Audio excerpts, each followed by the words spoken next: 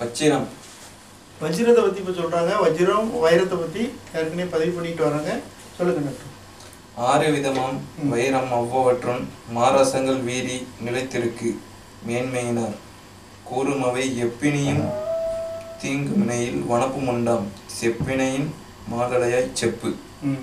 இது வந்து அது வந்து கவியா சொல்லியிருக்காங்க. சித்தர்கள் கவியா சொ- பதிவு பண்ணியிருக்காங்க. அந்த கவியை படிச்சிருக்காங்க. அதோடைய ஆக தமிழாக்கத்தை பார்த்தாலும் குணம். தேவ பிரம்ம சத்திரிய வைசிய சூத்திர சங்கர என்கிற ஆறு வகை வைரங்களிலும் மகாரசங்கள் தங்கி இருப்பதால் அவைகளினால். நேத்திர ரோகம் முதலிய பற்பல ரோகங்கள் விலகும். சரீர அழகுண்டாகும் ம். அழகு உண்டாகுது நேத்திர ரோகம் நீங்குது அழகு உண்டாகுது. இதில் ஆறு வகையாக பிரிச்சுட்டாங்க வைரத்தை. அதில் மூணு வகை நம்ம பார்த்தோம். இப்போ இதில் ஆறு வகையாக பிரிச்சிருக்காங்க. அந்த ஆறு வகையில் என்னென்ன வகைகள் என்னென்ன குணங்கள்ங்கிறத கொஞ்சம் உபயோகிக்கும் முறை வைரமானது நவரத்தினங்களில் ஒன்று. இதை குளிசமாக கட்டிக்கொள்ள அச்சம் துயரம் முதலியவற்றை நீக்கி இருதயத்திற்கு பலத்தை கொடுக்கும். பாருங்க குளிசமாக கட்டி கட்டிக்கிட சொல்றாங்க. சும்மா மாலையை போட்டாலும் சரிதான். குளிசமாக கட்டிக்கிறதுனாலும் சரிதான். அச்சத்தை போகக்கூடிய தன்மை இதுக்கு அதிகமா இருக்கு. அடுத்தது? பிரசவ வேதனைப்படுகிறவர்களுக்கு ம், கட்ட விரைவில் பிரசவமாகும். அந்த பிரசவ வேதனைப்படுறவங்களுக்கு வைரத்தை குழியை கட்டிட்டாங்க அப்படின்னா பிரசவம் இப்போ பேபி டக்குன்னு பிறந்துரும். வெளியில் வந்துடும் அந்த அளவுக்கு இதோட ஆற்றல் அதிகமாக இருக்கு. பாடியில் வந்து அவ்வளோ விஷயங்களை அது பண்ணிடும் அடுத்தது. ஆறு கோணமுள்ள வைரத்தை. பொன்னுடன் கூட்டி மோதிரமாக செய்து விரலில் அணிந்து கொள்ள. காக்கிய வழி போகும். காக்க வலிப்பு இருக்கு அப்படிங்கிறது நிறைய பேருக்கு இந்த கம்ப்ளைண்ட் இருக்கு. ஆறு பட்ட உள்ள வைரத்தை நம்ம வந்து அந்த பேஷண்ட்டுகளுக்கு வந்து அணிய சொன்னோம் அப்படின்னா காக்க போயிடும். இதே மாதிரி ஒவ்வொரு டிசீஸுக்கும் ஒவ்வொரு ரத்தினங்களை வந்து பயன்படுத்தியிருக்காங்க. அதை வந்து தவறான விஷயத்துக்கு இப்போ கொண்டுட்டு போயிட்டாங்க. அது வந்து ஜோதிடங்கிற பேரில் அது வந்து பெரிய வியாபாரமாகி போச்சு. மருத்துவ குணம் அதை கையில் வச்சுருந்தா அந்த தன்மைகள் கிடைக்கும். அதுதான் பதிவு பண்ணுறோம் இல்லையா இது வச்சுருந்தேன்னா இந்த மாதிரி நான் இவன் வச்சுருவேன் அதெல்லாம் இல்லை. அது வந்து அந்த விஷயம் வேற. இந்த விஷயம் என்னென்னா அதோடைய டைப்பு அது வந்து ரொம்ப முக்கியமான விஷயம். இதுக்காண்டி தான் அந்த காலத்தில் நிறைய விஷயங்களை பெரியவங்க வந்து இதெல்லாம் வகுத்து கொடுத்துருக்காங்க. இதை நீ கையில் வச்சுக்கோ. வச்சுருந்தேன்னா இந்த மாதிரி நோய்கள்லேருந்து பாதுகாப்பு கிடைக்கும் அப்படிங்கிறதெல்லாம் சொல்லியிருக்காங்க. அதோட வில் பவரும் சொல்லியிருக்காங்க. இதுதான். இதை வந்து வியாபாரத்துக்கு அப்படின்னு கொண்டு போய் வேறு மாதிரி கதைகள் சொல்கிறது வந்து சரியான விஷயமா பதிவுப்படுத்தலை இல்லை ஜோதிடத்துக்கு வந்து நீங்கள் வந்து பயன்படுத்துகிற விஷயங்களுக்கும் இதுக்கும் சம்மந்தம் இருக்காது. நல்லா புரிஞ்சிங்கன்னா தெரியும். அடுத்து வைரத்தின் அணுவளவாவது உட்கொள்ள. குடல் முதலிய உறுப்புகளை கெடுத்து இம்சிக்கும்.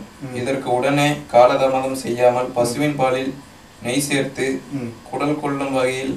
குடித்து தொண்டை வரையில் கைவிரலை விட்டு வாந்தி எடுக்கும்படி செய்ய வேண்டும். இப்போ பாருங்க சிலர் வந்து இந்த இந்த பிரச்சனை எங்கே நடக்குன்னு கேட்டிங்கன்னா இந்த கள்ளக்கடத்தல் வியாபாரம் பண்ணுறவங்க பாருங்க இந்த வைரத்தை என்ன பண்ணுவாங்கன்னா டியூபுக்குள்ளே போட்டு முழுங்கிக்கிடுவாங்க அது என்ன பண்ணுன்னு கேட்டிங்கன்னா டியூபு பிஞ்சு போயிடும் கொஞ்ச நேரத்தில். பிஞ்சின உடனே அந்த வைரம் வெளியில் வந்துருச்சு அப்படின்னா குடலை பீஸ் பீஸாக வெட்டி விட்ரும் ஏன்னா அதோட ஆற்றல் அதுதான். ஏன்னா ஆறு பட்டை ஆறு பட்டை மூ மூணு பட்டை எட்டு பட்டை இப்படி எத்தனை பட்டைகளில் அவங்க பறக்கிட்டு வராங்கன்னு சொல்ல முடியாது. இப்போ அந்த மாதிரி குடல் அறுபடக்கூடிய முழுங்கிட்டாங்க. அந்த மாதிரி ஆட்களுக்கு வந்து இதை வந்து யாருக்காண்டி இதை இதை பதிவு பண்ணுறோன்னு கேட்டிங்கன்னா கஸ்டம்ஸ் ஆஃபீஸர்ஸ்களுக்கு வந்து இது ரொம்ப பிரயோஜனமான ஒரு விஷயத்தை இப்போ பதிவு பண்ணுறோம் அந்த மாதிரி ஆட்கள் சிக்கிட்டாங்க அப்படின்னா அவங்களுக்கு இமீடியட்டாக பசும்பாலும் அது என்ன கொடுத்துருக்காங்க? பசும்பாலோட நெய். நெய் கலந்து உள்ள வயிறு கொல்ற அளவு கொடுத்துடணும். கொடுத்தாச்சுன்னா அடிச்சு முளைக்கு வெளியில் வந்துடும் அப்படி இல்லைன்னா வாமிட் ஆயிடும் ரெண்டில் ஏதாவது ஒன்று பண்ணும் அதனால் இம்மீடியட்டாக கொடுத்துட்டிங்கன்னா குடல் அறுபடாமல் பிடிச்சிக்கிடலாம். அந்த மாதிரி விஷயத்துக்காண்டி இதை பதிவு பண்ணுறோம் இது வந்து முக்கியமாக வந்துட்டு அந்த மாதிரி ஒருத்தங்க வைரத்தை அவசரப்பட்டு நுணுக்கி ஏதாவது சூசைட் அட்டன் பண்ணிடுவாங்க. சிலர் புத்தி புத்தி இல்லாமல் அந்த மாதிரி ஆட்களுக்கு அந்த வீட்டில் உள்ளவங்க உடனே என்ன பண்ணணும்னா பசும்பாலும் நெய்யும் கலந்து அதோடு கொடுத்துடணும். பசும்பாலை சூடு போட்டு நல்லா கொதிக்க வச்சு அதில் ரெண்டு ஸ்பூன் நெய்யும் மூணு ஸ்பூன் நெய்யும் போட்டிங்கன்னா கரைஞ்சிரும். அதை அப்படியே உள்ளே கொடுத்துட்டிங்கன்னா அது வந்து குடல் அறுக்காமல் வெளியே தள்ளிடும் வைரங்கிறது வந்து சாதாரண இல்லை அது பேர் வச்சிரும். அது எல்லாத்தையும் வந்து அறுக்கக்கூடிய தன்மைகள் அதுக்கு இருக்கிறதுனால அது வந்து இருக்கிறதுலே ஹார்ட்னஸ் கூடினது. இருக்கிறதுலே ஹையஸ்ட் டென் பாயிண்ட் ஹார்ட்னஸ் அது. ஏன்னா அந்த அளவுக்கு அது வந்து அது வந்து எதுக்குமே அடப்படாது. அதனால வந்துட்டு அதை கையாளுறது கரெக்டாக கையாளணும். உள்ளுக்குள்ளே சாப்பிட எல்லாம் சாப்பிடும்போது பற்பங்கள் ஒழுங்காக முடித்து வைத்தியர்கள் கொடுக்கணும். அறகுறமாக பற்பங்களை கொடுத்து அது மக்களுக்கு வந்து தீங்காயிடக்கூடாது. அதுக்காண்டி சொல்கிறேன் சொல்லுங்க வைரத்தில் அணுவளவாவது உட்கொள்ள அணுவளவாவது உட்கொள்ள. குடல் முதலிய உறுப்புகளை கெடுத்து இம்சிக்கும். குடல் குடல் முதலிய உறுப்புகளை கெடுத்து இம்சிக்கும். கிழிச்சிரும் அடுத்தது. இதற்கு உடனே காலதாமதம் செய்யாமல் பசுவின் பாலில். நெய் சேர்த்து. குடல் கொள்ளும் வகையில் குடித்து தொண்டை வரையில் கைவிரலை விட்டு வாந்தி எடுக்கும்படி செய்ய வேண்டும். வாமிட்டிங் எடுத்தோம் தொண்டவரில் கையை விட்டு உள்ளே விட்டு வெளியில் வாந்தி எடுக்க செய்யணும் அப்படிங்கிறாங்க. அப்படி விட்டுட்டா ரொம்ப உள்ளே போயிடுச்சு அப்படின்னா வயிறு நிறைய கொடுத்துருங்க வெளியில் தள்ளிடும் அதனால அந்த ட்ரீட்மெண்ட்டை விட்டுறாதீங்க. அது ரொம்ப கவனமாக பார்த்துக்கணும். இந்த ஜெம் ஸ்டோனை வந்து இது ஒரிஜினலாக டூப்ளிகேட்டான்னு பார்க்குறதுக்கு உண்டான மிஷின் தான் இது. இந்த இப்போ நீங்கள் பார்க்குறது ஜெம் ஸ்டோன் பார்க்குறதுக்கு உண்டான மிஷின் இது. இதை வந்து என்ன பண்ணுவாங்கன்னா இது ஸ்டோனை வந்து இந்த அலுமினியத்தில் வைப்பாங்க. அதுக்கு பாருங்க.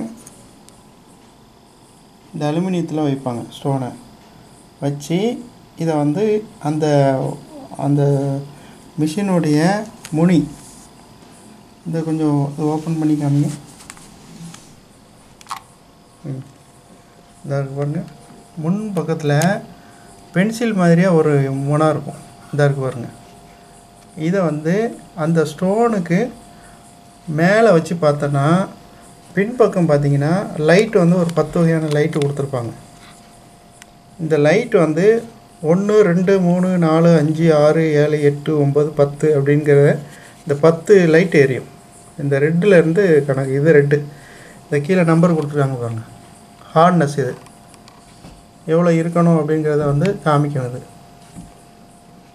பத்துக்கு மேலே போயிடுச்சுன்னா டைமண்டாக மாறிடும் அந்த எட்டு இருக்குது ஏழு இருக்குது சஃபையர் இருக்குது அப்புறம் ரூபி அப்புறம் வந்து இதுமாரி நிறைய ஸ்டோன்கள் இருக்குது புஷ்பராகம் கனகு புஷ்பராகம் அப்புறம் வைடூரியம் இந்த மாதிரி நிறைய இருக்குது அக்கோமெரியனு அப்புறம் வந்து இதுமாரி நிறைய ஸ்டோன் இருக்குது இதில் வந்து ஒம்பது கற்கள் தான் வந்து முக்கியமாக பெரியவங்க எடுத்திருக்காங்க.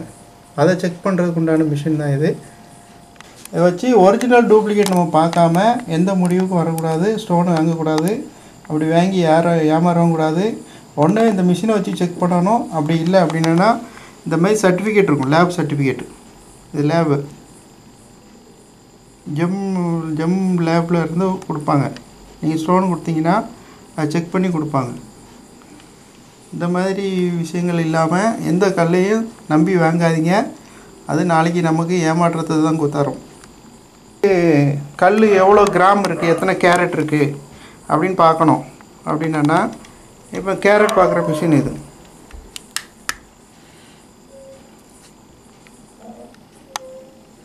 நீங்கள் பார்த்தீங்கன்னா சிடி அப்படின்னு போட்டுக்கு பாருங்க.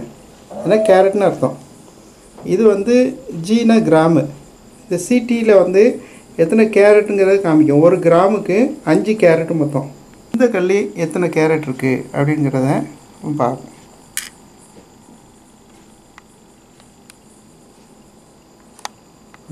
ஒரு கேரட்டும் ஒம்பது பாயிண்ட்டாக இருக்குது அப்போ கேரட் முப்பத்தொம்பது மில்லிகிராம் அந்த அளவுக்கு இருக்குது அந்த நம்ம நாட்டுடைய கனிம வளங்களை வந்து குறைக்கணும் அப்படிங்கிற நோக்கத்தில் நிறைய வந்து வெளிநாட்டு வெளிநாட்டுக்காரங்க சதிகள் நிறைய வந்து பண்ணிக்கிட்டு இருக்கிறத வந்து முறியடிக்கு தான் இதை பதிவு பண்ணுறது நம்ம நாட்டில் உள்ளக்கூடிய உண்டான மருத்துவ குணம் என்னது?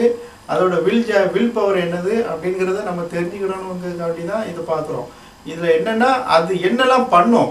நம்ம நாட்டில் விளையக்கூடிய அந்த ஜாதி கற்கள் என்னெல்லாம் பண்ணும்? அப்படிங்கிறத வந்து சித்தர்கள் வந்து பண்ணியிருக்காங்க. பெரியவங்க பண்ணியிருக்காங்க. எல்லாமே இங்கே இருந்த பெரிய பெரிய ஞானிகள் பண்ணியிருக்காங்க. அது வந்து நம்ம தெளிவுபட அதை படிச்சிட்டோம் அப்படின்னா வெளிநாட்டில் உள்ள வாங்குற கற்களை வந்து தவிர்த்துக்கிடலாம்.